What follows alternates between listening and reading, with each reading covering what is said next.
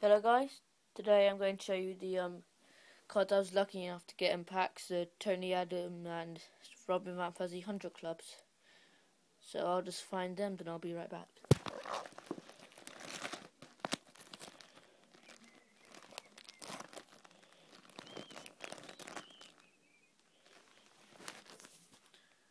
So um, here is Tony Adams, 100 club legend golden moment thing from Arsenal. He has 100 defence and 50 attack, and his um, power and tackle are pretty much really good. It's a bit fuzzy, but tackle 100 and power 96. And Van Persie's not too far away from here.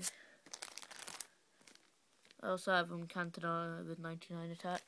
And here is the 101 Club Van Persie, 101 defence, 101 attack, and 101 in all the stats plays for the scum.